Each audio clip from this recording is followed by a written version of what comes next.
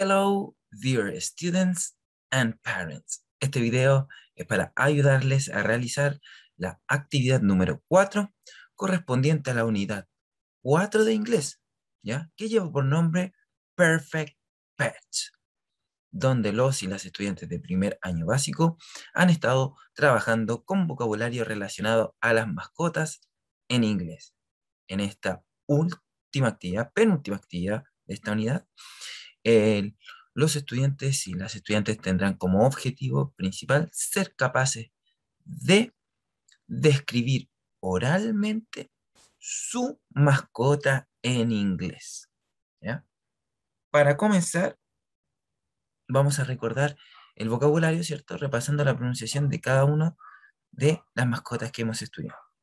Comencemos. Goldfish, hamster, dog, rabbit, cat, parrot, rat, frog. Esos son los ocho, las ocho mascotas que hemos estado repasando. En esta ocasión, cuando usted eh, muestre su mascota, generalmente va a ser uno, tiene que ser una mascota que esté dentro de este vocabulario. Tiene que ser, ojalá, un perro, un gato, un conejo, ahí dependiendo de la mascota que usted tenga, o un pez. ¿ya? ¿Y cómo va a ser la descripción que tiene que ser? Bueno, eh, tiene que grabar en un video, ¿ya? Va a grabar un video y ahí en ese video tiene que mostrar a su mascota.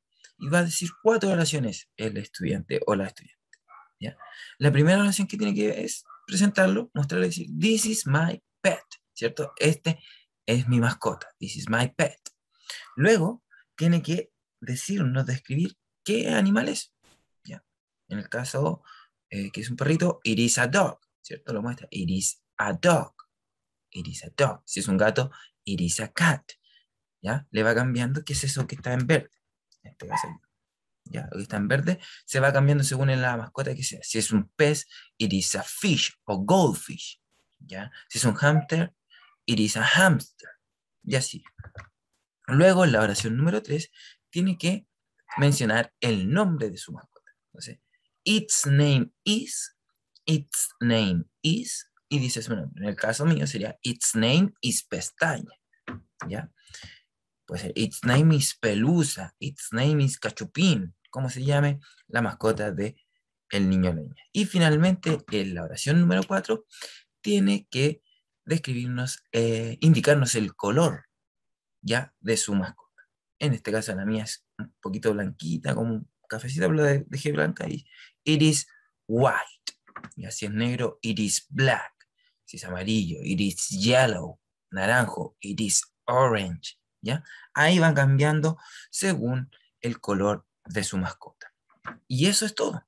¿Ya? Son cuatro oraciones que tiene que decir en el video la primera presentando a la mascota, la segunda definiendo qué animal es, la tercera diciendo su nombre y la cuarta diciendo de qué color es la mascota.